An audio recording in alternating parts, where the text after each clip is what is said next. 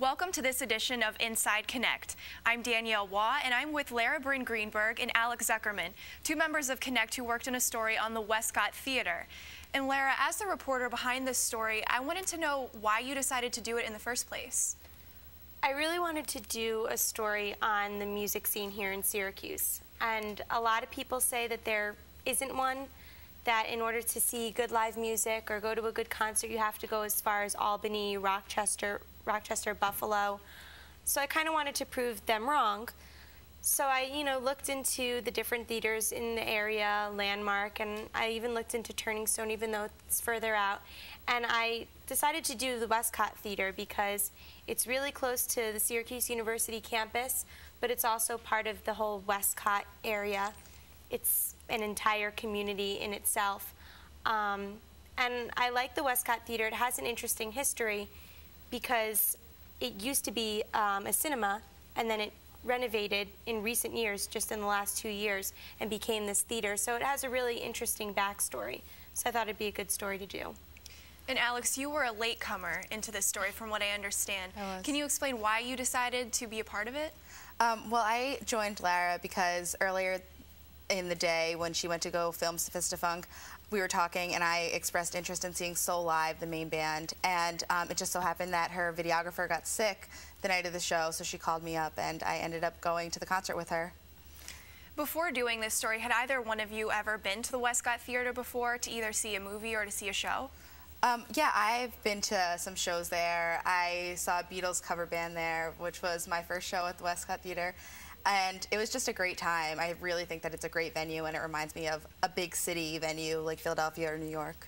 And I hadn't been yet, but since I've done the story, I have gone to see a show there just because being there filming the story with Alex, she was a great help. And it, it was really intriguing kind of place. It's really just cool. There's no other word for me to describe it. It's a cool place.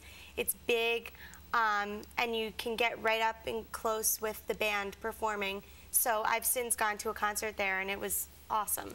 Are these concerts very well attended? It depends on the concert. Uh, what the owner told me, Dan Mastronardi, was that for most shows, they tend to get between 100 and 200 people, but they do have bigger shows and they've sold out about a dozen times. The show I went to was a pretty big show. It depends on who's there. There's also a lot of entertainment that goes on at the theater besides just the concerts. I think when we were there, there were Chinese yo-yo guys just like having a blast, people on stilts. It's, it's kind of crazy. In the course of working on this story, I understand you talked to a number of people, a number of sources and interviews. Do any of the interviews stick out to you in particular? I really liked interviewing the former owner of the theater when it was still a cinema. He was this cute old man. His name is Nat Tobin. And when he owned the Westcott Cinema, he also owned the Manlius Cinema, which he still does. I've been to the Manlius Cinema to see movies also.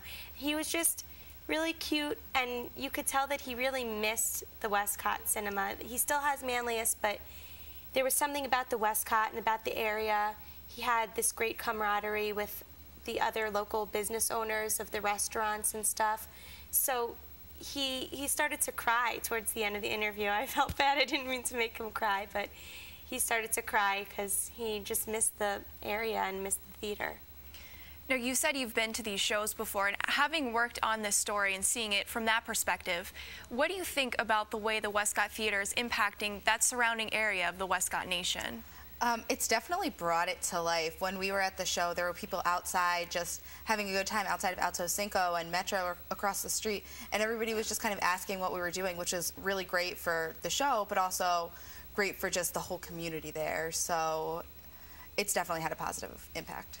Your story is mostly positive. You're talking about the Westcott Theater. Did you run into any negative aspects? Did anybody have anything bad to say? The people that I interviewed when I was there didn't, because obviously they were there for a reason. You know, they wanted to see a show and they were having a good time.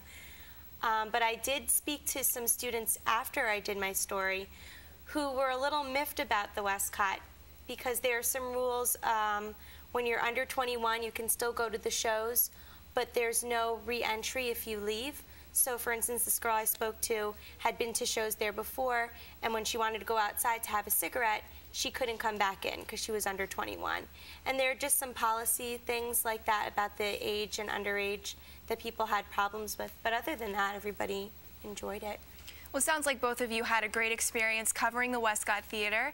Lara and Alex, thanks for being here. This has been Inside Connect.